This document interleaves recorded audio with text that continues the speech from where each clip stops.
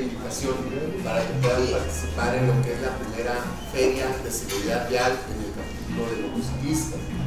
Esta administración que encabeza el alcalde Román Alberto Cepeda, desde el inicio de la misma ha marcado una, un interés una preocupación por la seguridad de todas las personas que utilizan la motocicleta con distintos fines, desde la simple movilidad a atender una situación laboral, quienes lo toman como una práctica recreativa, deportiva o un hobby. Al final de cuentas todos ellos son usuarios de un vehículo que es muy noble, pero que obliga a tenerle también este, un valor y un respeto.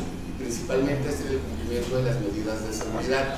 Esta feria que tiene viene acompañada principalmente de una actividad estelar que es la Olimpiada de Conos que organiza el Motoclub Chanates, que representa Sergio Vacio, quien además, probablemente ustedes lo conocen, es nuestro capacitador en jefe por parte del ICATEC y es a quien le ha tocado impartir su conocimiento en la materia de prevención y defensa en la conducción de la motocicleta allá más de 3.600 motociclistas de la ciudad de Es decir, esta feria pues está en manos de expertos. Nosotros como ayuntamiento estamos acompañando y abrazando esta actividad. ¿Por qué? Bueno, pues porque realmente ha habido ya una unión y una fusión con todos los estados de la moto. Nosotros nos toca principalmente atender a, los motociclistas que primero pasan un filtro que, tiene a su cargo Cristian Torres como comisionado de, esta función de poder, eh, por un lado, estar en la calle con el operativo sin casco no viajes que le toca el área operativa que el comandante de Campos que el área de la capacitación está sacando tanto de Sergio como de Cristian.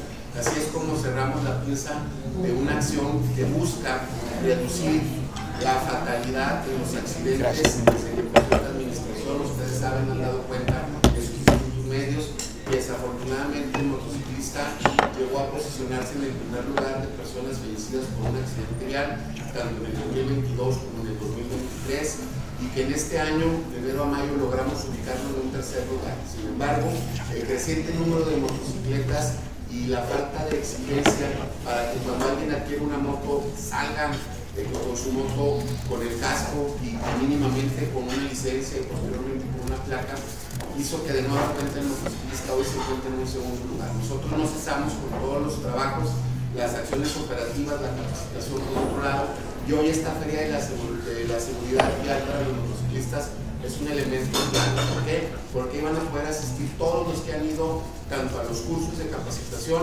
los que son eh, repartidores organizados, independientes, los integrantes de los motoclubs como los que representa Sergio y con quienes hemos tenido contacto y hemos trabajado juntos en distintas eh, ocasiones que lo tengan como una actividad deportiva. Todo el que ande en una motocicleta es bienvenido.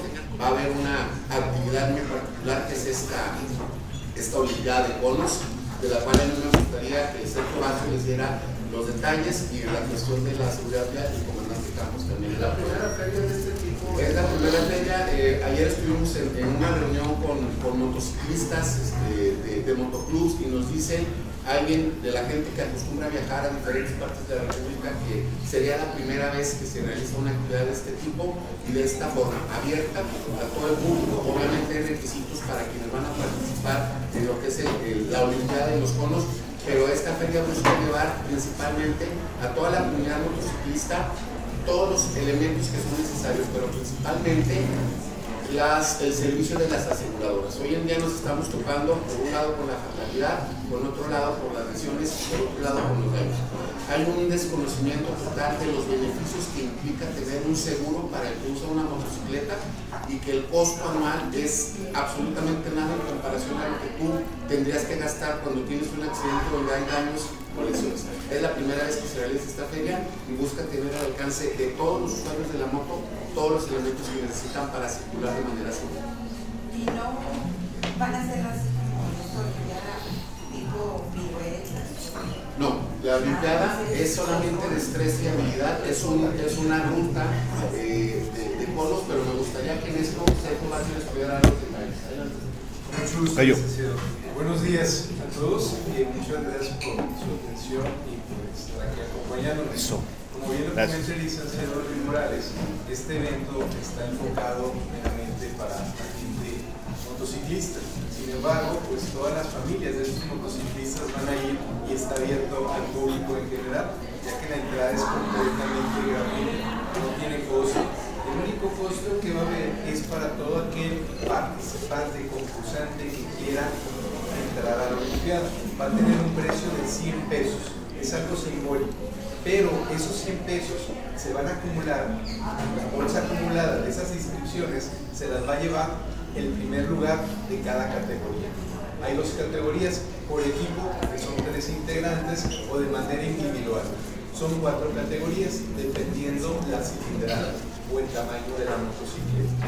A las 9 de la mañana se va a iniciar eh, esta eh, actividad en las instalaciones de la Feria de Torreón, dentro de las instalaciones de la Feria de Torreón, donde ponen los jueguitos, todos ubicamos esa, esa área. ¿Cuál va a ser el acceso donde termina o empieza el puente peatonal? Ahí está un portón y ahí es donde va a ser el acceso. A las 9 son las inscripciones, a las 10 va a haber una clínica, es decir, un taller, una clase para todo aquel que quiera eh, reforzar su manejo de manera gratuita de 11 a 12 va a ser una práctica libre entre los conos para practicar. De 12 a 4 va a ser la Olimpiada, a las 4 va a ser la premiación, se van a dar unas menciones a grandes personalidades del motociclistas de la, motociclistas de la laguna, los cuales han aportado este, a esta comunidad, a esta cultura, a esta forma de vida de ser motociclista. Y a las 5 va a ser la premiación y a las 5 pues vamos a tener un convivio pues, para poder saludarnos, que precisamente esa es la esencia de este evento.